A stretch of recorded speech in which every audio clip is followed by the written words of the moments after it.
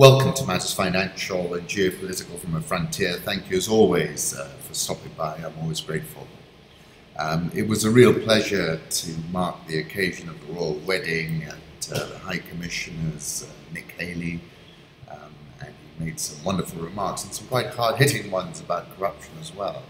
But it was a super party and I really appreciated the invitation. We also, on the same day, hosted uh, the marathoner Eliud Kipchoge. We're in the edit suite right now. He said so many things. He's kind of a philosopher runner. He said, My training is seven days. Every day I do 30 to 40 kilometers. I do pure speed, speed endurance. The heart is what drives the person, he said. Um, and indeed, he was fantastic, I must say. Macro Thoughts 30 years. This is the 30 year bond. Look at this chart. A break of that level is clearly going to be of some import and signaling we're probably headed higher with regard to US interest rates. Home Thoughts, an insane view of the Milky Way from the edge of New Zealand. This is by Wired. He nabbed this particular shot of the bay on a still, clear night in February was about 3:30 a.m. The tide was going out, and the Milky Way was just beginning to rise in the eastern sky. And then this from Will BL, leopard photographed with a Camtraptions DSLR camera trap. And I've kind of become obsessed with tigers of late watching all these wonderful documentaries that we have on YouTube. Um, big cats are really extraordinary creatures. The road between Limuru and Kimende is so surreal. This was a very dark and foreboding morning we had. We were getting a lot of rain here. Venezuelan elections, Nicolas Maduro wins a second term. I want to say good morning to Venezuela. I have been one of the first voters of the homeland. Today we build the future, a hug of hope if you give me victory, he said, I will defeat the economic war, he roared at his final campaign event. Have a look at this from the Queen of Charts, the Venezuela Bloomberg Cafe Con Leche Index. And essentially, as I said in 2015, and I was quoting Hunter S. Thompson with regard to um, uh, Venezuela, and I said, the age, there is no honest way to explain it, because the only people who really know where it is are the ones who have gone over. I think essentially Venezuela's gone over. What a scene! Putin greets Merkel with flowers, she greets him in German, he speaks it. Medvedev says hi, and Merkel starts speaking some Russian with him. Very interesting video, must watch. Then a very hard hitting interview with Robert Fisk, who's being denigrated unfairly, but he's actually one of the few journalists who's reported honestly from the Middle East for a long period of time is worth listening to, even if you disagree with him. China, and this story got sort of lost. China has landed nuclear strike capable bombers on the South China Sea islands. This is the Paracel Islands. The location of H6K tests is Woody Island, part of the Paracels. Um, and uh, Business Insider concludes it's a, in a clear sign that it's pushed out the US without firing a shot. Nearly all of the Philippines falls within the radius of the bombers, including Manila. And this goes back to a piece I wrote in August 2017, China Rising, and I said apart from a few half-hearted and timid FONOPs, freedom of navigation operations, China has established control over the South China Sea it has created artificial islands and then militarized those artificial islands across the South China Sea. It is a mind boggling geopolitical advance any which way you care to cut it. And this is even a further extension of that, and a bold one, under cover of this tariff war. Chinese bombers, including the H 6K, conduct takeoff and landing training on an island reef at a southern sea area reports the People's Daily China. The Paracels is also claimed by Vietnam and Taiwan. Um, and essentially, I agree with Danuki that it's essentially pushed the US out of the South China Sea without firing a shot. Donald Trump may be preparing for the wrong game, a two player round of checkers, when Kim is stealing for a multiplayer two board chess match. I think that's true as well, foreign affairs. Trump Jr. and other aides met with Gulf emissary offering help to win the elections. One was an Israeli specialist in social media manipulation. Another one was an emissary for two wealthy Arab princes. The third was a Republican donor with a controversial past in the Middle East as a private security contractor. The firm had already drawn up a multi million dollar proposal for a social media manipulation effort to help elect Mr. Trump. And essentially, this goes back to the article I wrote in December 2016 when I said we have a deviate tomahawk. Clearly, we do. Um, uh, they've used uh, foreign power help uh, to win that election. That's of no doubt. Yesterday, Muqtada Sadr invited ambassadors of countries with borders with Iraq, um, Iraq, Saudi, Jordan, Kuwait, Syria, and Turkey the Iranian ambassador declined to attend because the Saudi ambassador was there. Look, a few things I got to say. Muqtada was a real firebrand in the old days at the time of the invasion. They at one time wanted to kill him dead, but he survived, and here he is. He's the kingmaker. And in this, he's seen meeting with PM Abadi, hinting at a coalition. While Jared Kushner and Ivanka Trump partied, Palestinians were being gunned down for daring to protest for their right to return to lands they were expelled from. Israel, this is the Intercept, Jeremy Scahill, who's saying it how it is. Israel has once again conducted a premeditated, full scale massacre in broad daylight in front of the cameras of the world. Once again, it took place in Gaza. On May 14, Israeli snipers and other forces gunned down more than 60 Palestinians and wounded thousands of others, including civilians, journalists, and paramedics. You try non lethal means and they don't work, said Israeli Prime Minister Netanyahu, so you're left with bad choices. It's a bad deal, you know. You try, you go for below the knee, and sometimes it doesn't work, he said. And unfortunately, these things are avoidable. I think it's as clear as the Sharpeville massacre was. You either fall on the right side or the wrong side in this matter. And also, I think it's not sustainable. This is a society on the edge. Where it will go from here is anybody's guess. And it's not going to be advantageous now for Israel to, to rub people's noses into the ground at this point. Mohammed bin Zayed tweeted this photograph. International Markets, my piece over the weekend was titled Blockchain cryptocurrencies and avocados. Let's start with the basics. New economies tend to create their own lingua francas, and before you know it, we might be nodding sagely, but have become essentially clueless. And if we don't Uberize ourselves, we might end up being Kodak. Kodak, however, seeking to resurrect themselves from the smartphone camera phone catastrophe by issuing a Kodak coin. The first term to understand is the blockchain. A blockchain is a continuously growing list of records called blocks, which are linked and secured using cryptography. Each block typically contains a cryptographic hash of the previous block, timestamp, and transaction data.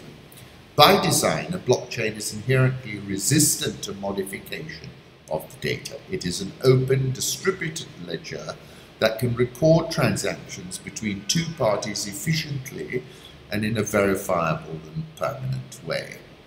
For use as a distributed ledger, a blockchain is typically managed by a peer-to-peer network collectively adhering to a protocol for internode communication and validating new blocks. Once recorded, the data in any given block cannot be altered retroactively without the alteration of all subsequent blocks, which requires collusion of the network majority. Blockchains are secure by design and exemplify a distributed computing system with high Byzantine fault tolerance. Decentralized consensus has therefore been achieved with a blockchain. This makes blockchains potentially suitable for the recording of events, medical records, other records management activities, such as identity management, transaction processing, um, food traceability, or voting. Blockchain was invented by Satoshi Nakamoto in 2008 for use in the cryptocurrency Bitcoin as its public transaction ledger. The invention of the blockchain for Bitcoin made it the first digital currency to solve the double spending problem without the need of a trusted authority or central server. This means specific blockchain applications may be a disruptive innovation because substantially lower cost solutions can be instantiated, which can disrupt existing business models. Blockchain protocols facilitate businesses to use new methods of processing digital transactions. Examples include a payment system, a digital currency, facilitating crowd sales, and generic governance tools. Here in Kenya, the application of the blockchain to the land register is a no-brainer the land register would metasize from a situation where it has more holes than Swiss cheese to one where it is 100% tamper-proof. I have no doubt that the blockchain is a silver bullet, but the question is how long the incumbents can dodge the bullet.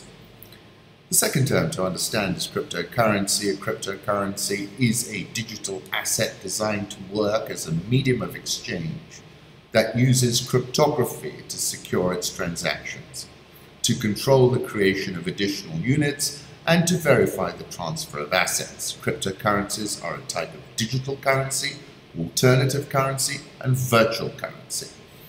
Cryptocurrencies use decentralized control as opposed to centralized electronic money in central banking systems. The decentralized control of each cryptocurrency works through a blockchain, which, as we know, is a public transaction database. Bitcoin, created in 2009, was the first decentralized cryptocurrency. Since then, over 3,500 cryptocurrencies have been created, if not more.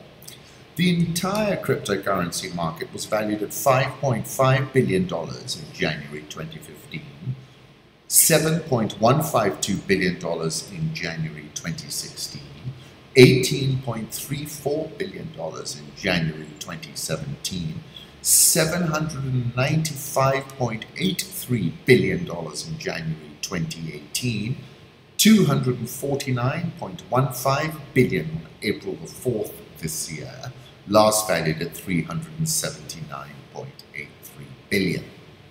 The price inflation witnessed between January 2017, 18.34 billion, which I might add was when I put a buy note out on Bitcoin, and January 2018, when it was valued at 795.83 billion, was the fastest price increase ever witnessed in the history of mankind, even surpassing the tulip mania of 400 years ago. At today's prices, cryptocurrency trades 24 hours a day, 7 days of the week, unlike the ordinary markets which take the weekend off. Bitcoin constitutes 37.38% of the entire cryptocurrency value, Ethereum 18.49%, Ripple 7.02%, Bitcoin Cash 5.37%, Litecoin 2.03%, IOTA 1.32%, Neo 1.03%, and all the others 24.95%. Now, when you see price inflation of the type cryptocurrency markets have witnessed, it of course creates a fever of speculation and a whole series of high-tech pump and dump schemes. In the cryptocurrency markets, it's a serious case of caveat emptor. At least 95% of the current crop of cryptocurrencies are going to be worth zero. The winners will produce an exponential parabolic return. Go remember that quote, uh, parabola. To be a winner, the cryptocurrency needed to be first, like Bitcoin, which has a limited and finite number and therefore remains as a scarcity value and maintain your credibility as the preeminent crypto because Bitcoin is no longer about utility. For example, the block time for Ethereum is set uh, between 14 and 15 seconds, while for Bitcoin it is 10 minutes. The rise of Ethereum is exactly around its utility and its platform. It is the preeminent digital capital markets platform for the crypto markets. Ripple is seeking to disrupt the global wholesale money transfer markets. Let me leave you with one final thought, and that is about velocity. Paul Virilio's speed now illuminates reality, whereas light once gave objects of the world their shape. Benedict Evans tweeted yesterday the difference in tech is that the cycle time can be really fast. We went from IBM to Wintel to GAFA in 20 year jumps. That has tended to mean dominance turns to irrelevance faster than antitrust processes can diagnose, pick a remedy, and apply it. Hamid Rashid, the CEO of Finterra blockchain, said to me, Ali Khan, what took a decade to happen is happening in months in this new blockchain crypto economy. And on that closing note, I'm going to have an avocado, which seems to be what a lot of folks are wont to do these days. Bitcoin's volatility over the last 30 days is down to 69%, the lowest since last October, Charlie Bilello. These are cryptocurrency returns in 2018. Again, it's from Charlie. Bitcoin has gone 153 days without a new high. The longest streak ever was 1,176. Charlie again. The 15 week symmetrical triangle is now the dominant classical chart construction in Bitcoin. The resolution of this configuration will determine the next significant trend. Peter Brandt, who I follow. And then, as I said, that quote about speed now illuminates reality where light once gave objects of the world their shape is, of course, from Paul Virilio. Let's move on to the currency markets, which continue to see significant movement. Euro dollar 117.40, dollar index 93.83, Japanese yen 111.31. I think it's going to 114.50. Swissy just below 1. The pound 134, the figure the Australian dollar. Where is that? 0.7525. That's getting a little bit of a bounce. Indian rupee 68.125 under pressure, nearing a record low. South Korean won 1086.98, The real 373.82. Egyptian pound 17.9418. That's softening up as well. And the Rand hits a five month low, 1288.01. The dollar index, about which I've been bullish all year, you remember I even was tested and I stuck with the 88 stop, is currently at 93.83. My near term target is 94.50. Euro dollar, this chart is from T Commodity. We're now at 117.38. My target looks like 114.50 now. Gold, that's another thing that's wobbled, 1284.50. Strong dollar putting pressure on gold. Oil, that's actually trading higher. In New York, we're at $71.62. Brent has crossed 80. The swings in the price of oil have been massive during the last 15 years. This is a chart from James Blockland.